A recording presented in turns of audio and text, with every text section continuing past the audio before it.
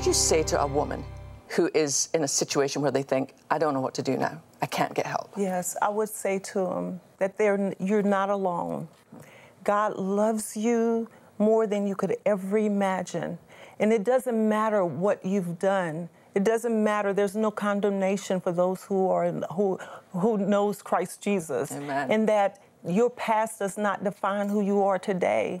And that he will take you no matter what you've done. Today, this moment, mm-hmm. all you have to do is say, Lord, I believe you and I trust you and follow him. That's what I would say. I would encourage them to just, if they're in an abusive relationship, get out. Mm-hmm. Call the National Domestic um, Violence Hotline but don't stay. I believe in marriages. I truly, truly do. I've encouraged thousands and thousands of friends who are married, still married today.